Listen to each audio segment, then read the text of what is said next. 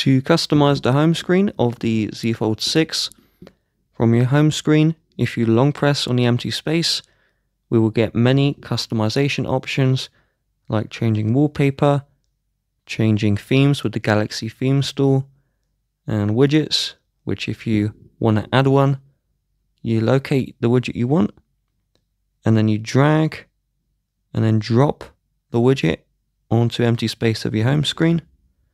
So there we go, we have that lovely widget there. Now, if we want to add apps to our home screen, we swipe up like this, we locate the app we want, and then we drag, and then drop like that, and that will add new apps to your home screen. If you long press on an app and then release, you can remove the app from your home screen. And with other apps, if we long press on the app, it will also give us not just remove from the home screen, but also uninstall.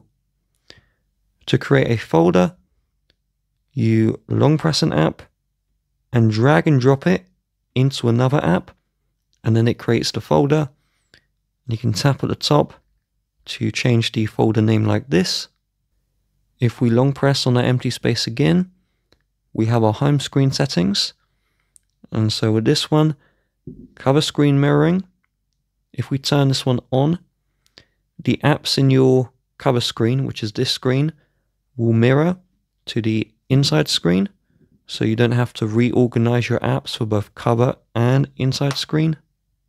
You can change how many apps on your home screen, app screen, and folder grid. And so that's it.